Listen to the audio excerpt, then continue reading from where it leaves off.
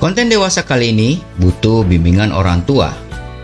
Kontrasepsi sendiri merupakan cara atau metode mencegah kehamilan.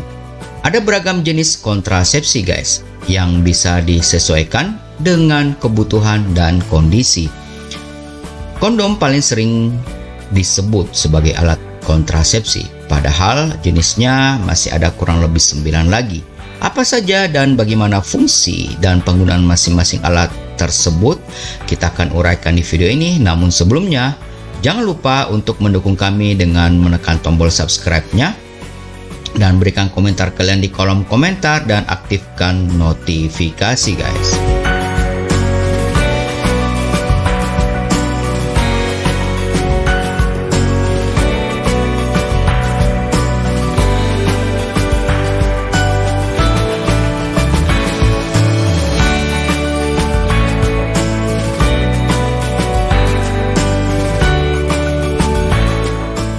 Jumpa lagi bersama Mimin Freddy.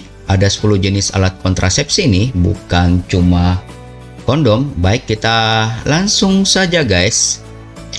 Ngomong memang dianggap suatu rezeki ya yang sebaiknya tidak ditolak. Namun para pasangan tetap memiliki pilihan untuk melakukan perencanaan termasuk dengan kontrasepsi. Berikut ini jenis-jenis kontrasepsi menurut BKKBN beserta kelebihan dan kekurangan kontrasepsi tersebut guys. Tiap tanggal 26 September dirayakan sebagai hari kontrasepsi sedunia. Nah, dalam rangka peningkatan kesadaran akan kesehatan reproduksi dan pentingnya perencanaan keluarga termasuk kehamilan, kontrasepsi sendiri merupakan e, cara atau metode mencegah kehamilan. Ada beragam jenis kontrasepsi yang bisa disesuaikan dengan kebutuhan dan kondisinya. Jika dilihat secara garis besar, kontrasepsi bisa dibedakan menjadi kontrasepsi hormonal, penghalang fisik, alami, juga jangka waktu. Berikut ini jenis-jenis kontrasepsi menurut BKKBN beserta kelebihan dan kekurangan kontrasepsi tersebut guys. Oke kita langsung aja nomor satu yaitu pil KB Salah satu jenis kontrasepsi hormonal adalah konsumsi pil yang mengandung kombinasi hormon progesteron dan estrogen. Di Indonesia biasanya orang menyebutnya dengan istilah pil KB atau keluarga berencana ya. Sebagaimana dilansir Hello Sehat, pil KB membantu penahanan ovarium atau indung telur agar tidak memproduksi sel telur. Kemudian, memungkinkan sel telur tidak bertemu dengan sperma. Konsumsi pil harus sesuai dengan resep dokter dan biasanya diminum di waktu yang sama setiap hari, guys. Plus CDC menyebut tingkat kegagalan pil KB hanya sekitar 7%, kemudian mampu melancarkan haid dan mengurangi kram meski ada pula yang tidak mengalami haid katanya. Minusnya, dokter mungkin tidak meresepkan pil KB untuk perempuan usia di atas 35 tahun. Merokok dan ada riwayat pembekuan darah atau kanker payudara pil KB juga ada potensi menaikkan berat badan. Namun ini bisa diatasi dengan diet sehat dan olahraga rutin guys.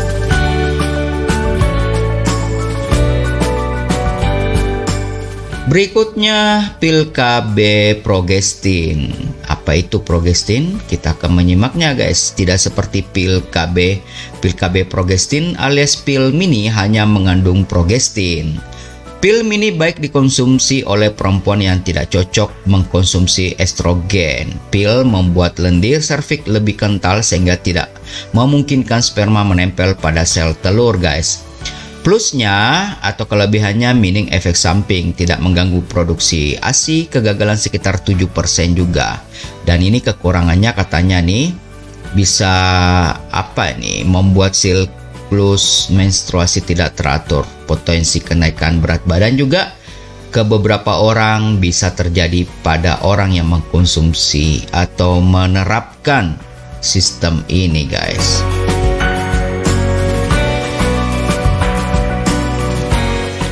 Baik, kita masuk ke poin nomor tiga yaitu menggunakan KB suntik. KB suntik juga satu jenis uh, kontrasepsi menurut BKKBN.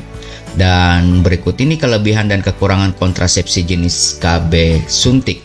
Menurut laman Dinas Pengendalian Penduduk Keluarga Berencana Pemberdayaan Masyarakat dan Desa, Kabupaten Bantul nih, metode suntik KB berarti menyuntikkan hormon progestin ke aliran darah untuk menghentikan ovulasi. Ada dua jenis suntikan yakni suntik KB 3 bulan dan suntik KB 1 bulan. Uh, kelebihannya ini lebih praktis guys dan katanya lebih efektif daripada pil KB dengan tingkat kegagalan cuma 4% kalau tadi yang sudah dibahas kurang lebih 7%. Bahkan kegagalan suntik KB satu bulan bisa kurang dari satu persen jadi bisa hampir 100% nih keampuhannya. Dan ini kekurangannya guys, harganya memang sih lumayan mahal ya. Dan perlu kunjungan dokter, tidak memberikan perlindungan terhadap penyakit menular seksual PMS, siklus menstruasi tidak teratur, tidak dianjurkan untuk perempuan dengan riwayat migrain, diabetes, sirosis, uh, sirosis hati maksudnya, stroke dan serangan jantung. Makanya ini harus dikonsultasikan dengan dokter kepercayaan Anda.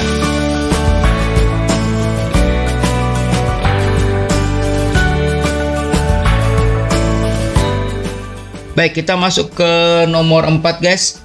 Kalian bisa melakukan intratorin device atau biasa disingkat IUD. Mohon maaf jika ada salah penyebutan ya. IUD merupakan alat kontrasepsi dengan bentuk menyerupai huruf T berbahan plastik. Alat ini ditempatkan pada rahim dan bekerja dengan menghalau sperma agar tidak membuai sel telur, guys. IUD ada dua, yakni IUD tembaga uh, dan IUD hormonal. Bedanya, IUD hormonal tidak bertahan hingga 10 tahun. Sedangkan IUD hormonal perlu diganti tiap lima tahun sekali. Dan ini kelebihannya perawatannya itu tidak rumit guys dan bisa bertahan lama katanya. Jadi sangat simple. Mungkin nanti akan ditraining dengan dokter uh, apa namanya dokter pribadi Anda dan dia mempunyai kekurangan yaitu bergeser guys.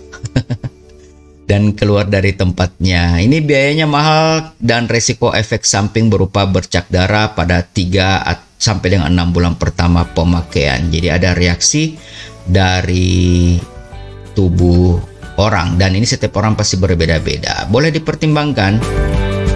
Kontrasepsi penghalang fisik guys ya yaitu pertama kondom ini yang paling terkenal dan paling sering disebutkan. Alat kontrasepsi satu ini terbilang paling mudah ditemukan dan praktis digunakan.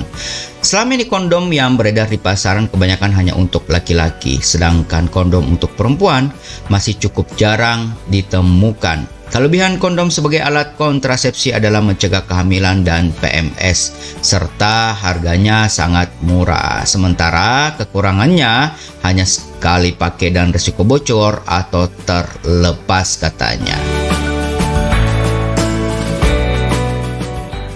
Berikutnya, spermisida. Spermisida biasanya berupa jelly, krim, membran atau busa mengandung bahan kimia untuk membunuh sperma, guys spermisida akan diaplikasikan di dalam vagina sebelum penetrasi. Uh, dan ini punya kelebihan yaitu harganya terjangkau karena memang cukup murah dan dia mempunyai kekurangan yaitu kurang praktis sebab ada yang perlu diaplikasikan 30 menit sebelum penetrasi. Resiko iritasi perlu digunakan bersama kontrasepsi lain uh, biasanya dipadukan dengan kondom dan tingkat kegagalannya mencapai 29%.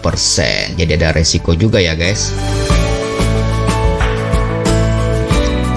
Dan berikutnya adalah diafragma dan cervical cap.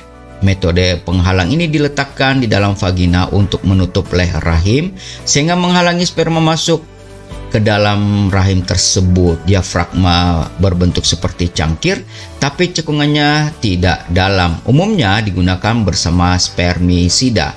Sedangkan cervical cape Mohon maaf jika ada salah pengucapan, bentuknya sama seperti diafragma tapi ukurannya lebih kecil. Dan ini mempunyai kelebihan, katanya harganya terjangkau cukup murah dan cervical cap bisa digunakan hingga dua kali. Dan dia mempunyai kelemahan guys, yaitu pemasangannya harus dilakukan oleh dokter dan harus dilepas saat haid. Tingkat kegagalan mencapai 17% dan 30% pada cervical cap tersebut, guys.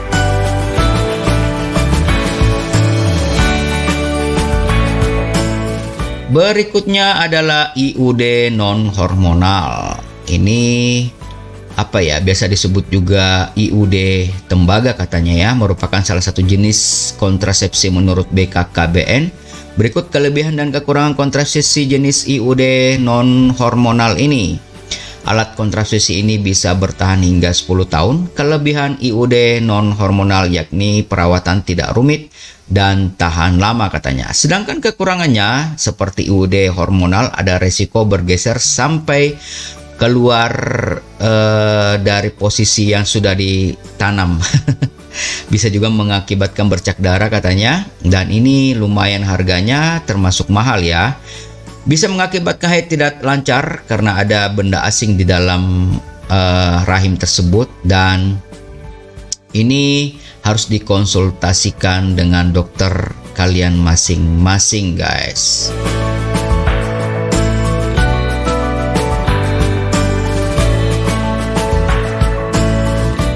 Dan berikutnya kontrasepsi alami guys. Jadi BKKBN ini uh, sudah menyampaikan juga bahwa ada jenis-jenis kontrasepsi itu kalian tinggal pilih aja. Kalau ini yang kita akan sampaikan berikutnya lagi adalah kontrasepsi alami yaitu menggunakan sistem kalender katanya. Yang pertama ini ya metode kontrasepsi satu ini berbasis waktu kesuburan.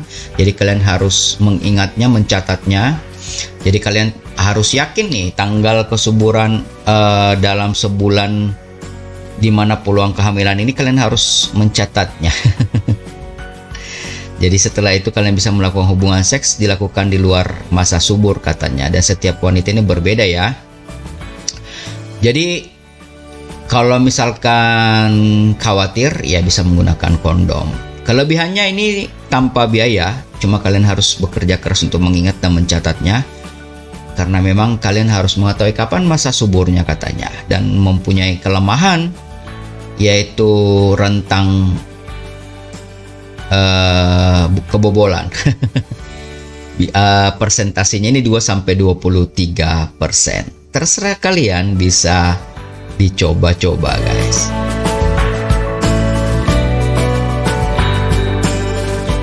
Nah, yang berikutnya nih, masa menyusui bisa menjadi KB alami atau disebut metode amenor lakta laktasi ya. Mohon maaf jika ada salah penyebutan istilah kedokterannya saat menyusui ibu memerlukan hormon untuk melancarkan produksi ASI. Rupanya hormon ini juga mencegah pelepasan hormon untuk ovulasi katanya. Jadi punya kelebihan nih, tidak memerlukan biaya atau alat, alat apa pun karena ini reaksi dari tubuh ya.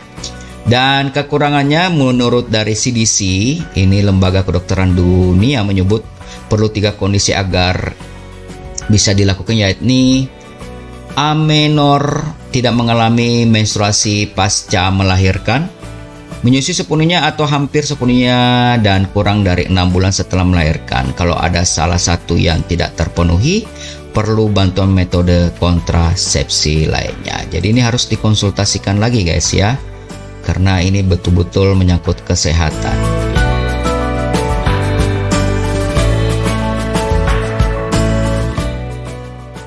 Kontrasepsi dilihat dari jangka waktu. Jadi metode kontrasepsi jangka waktu pendek itu berarti kontrasepsi yang digunakan dalam waktu relatif singkat ya. Sehingga perlu pembaruan atau diganti misalnya kondom, pil KB dan suntik KB.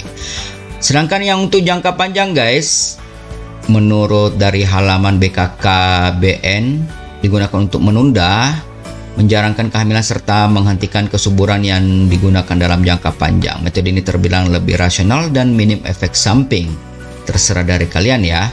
Dan adapun jenisnya antara lain implan bentuknya batang kecil plastik dipasang di bawah pelapisan kulit lengan atas bagian dalam implan ini berisi hormon progesteron. Mohon maaf jika ada salah penyebutan. Perempuan bisa kembali subur saat implan tersebut dicabut. Tubektomi, operasi pengangkatan atau pemotongan saluran telur perempuan, tindakan ini dilakukan ketika pasangan tidak menginginkan anak secara permanen. Vasectomy, tindakan pada laki-laki guna mengikat saluran sperma sehingga air mani yang keluar tidak mengandung sperma.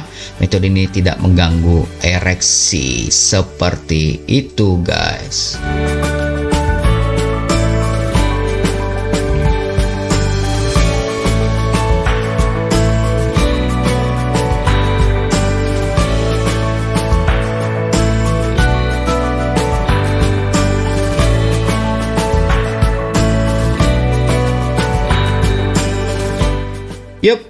Demikian guys podcast kita hari ini. Semoga dapat mengedukasi kita semua tentang jenis kontrasepsi dan bagaimana mengimplementasikannya. Intinya semuanya bisa di konsultasikan lagi ya sama dokter pribadi masing-masing karena jangan ambil mentah-mentah dari konten ini karena ini menyangkut kesehatan ya. Dan jika memang tidak keberatan, bagikan supaya banyak mengedukasi orang. Dan juga jangan lupa mengklik tombol subscribe-nya dan aktifkan notifikasi guys. Kami juga menunggu kalian di 089530945819 bagi kalian yang ingin uh, bergabung bersama kami di sini. Apa pun itu nanti kami akan menuntun kalian seperti apa kelanjutannya. Dan kami juga sangat membutuhkan dukungan support kalian guys untuk peningkatan perkembangan channel ini dengan mengklik tombol subscribe-nya. Jangan lupa juga memberikan komentar di kolom komentar untuk melengkapi kami. Terima kasih bagi yang sudah mendukung kami ya. Dan akhir kata Memeng Freddy mohon pamit, mohon maaf jika ada salah-salah kata, koreksi dan intinya silahkan tulis di kolom di bawah untuk kemajuan channel podcast ini. Tetap jaga kesehatan kalian guys, gunakan masker, cuci tangan istirahat yang cukup, olahraga ringan untuk menjaga stamina dan imunitas kalian. Dan jika tidak penting-penting banget, tidak perlu keluar guys. Tapi jika kalian harus keluar, gunakan masker, patuhi protokol kesehatan. Sampai jumpa pada podcast berikutnya. God bless you all.